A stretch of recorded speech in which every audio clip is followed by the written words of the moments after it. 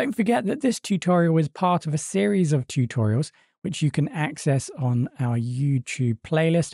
Or alternatively, if you would like to, you can purchase the whole course on Udemy. There should be a link to the YouTube playlist and a link to our Udemy course, which should always provide the best price in the video description. As advertised in the previous tutorial, let's take a look at now adding and modifying fields with required values. A common problem that you might have when making changes to an existing table is when you want to add a new field, which is a mandatory field. If you already have records in the database and you want to add a new field, which is a mandatory field, it will mean that you need to add data to all the current existing records in your database for this new field.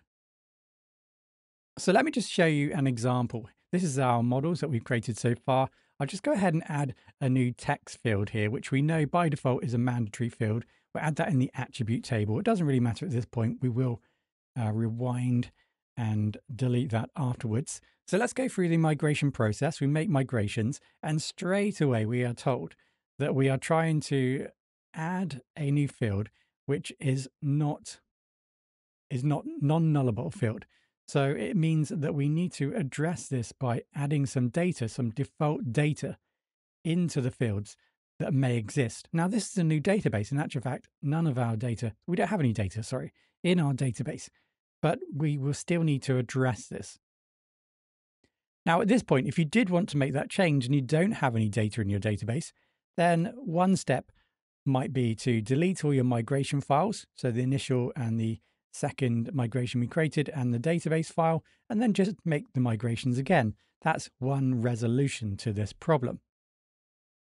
Likewise, if you are using data fixtures, you don't have much data in your database, that can be a quick process by simply, again, just deleting all your migrations if it's not a problem. At this point, if you are just developing your application, there isn't necessarily any massive need for us to keep a record of the changes because we just want to reset everything and then just create the migration again and everything will be fine because we don't have a current migration and just migrate the data back into the database. So that's a, another step you can take. Now, that isn't always going to be the case because you might have a, quite a lot of data in the database. You don't want to start deleting everything. So, what can you do? Now, depending on your particular scenario, will depend on how you fix this. I'm making the assumption that you are new to Django ORM and you're not working with a database that has 100,000 or a million records at this point. So we're just going for a simple resolution at the moment, which is going to help you while developing your own database. So think about what I said previously. So something that can be a, a good resolution potentially when you're developing your application initially and you don't have much data or any data is just to restart, delete the migrations, like I said, and the database file and remigrate everything. Now, if that isn't an option for you, potentially you might want to go ahead and add the default value. So you can add a default value equals whatever the default value you want to use. Or alternatively, you can set null to true. So we can set null equals true. That would also resolve this problem. So if I set that now and just press a uh, Control C to close that and try this again, so make migrations again, you can see this time the migration has been created because we've set the default or, or null equals true.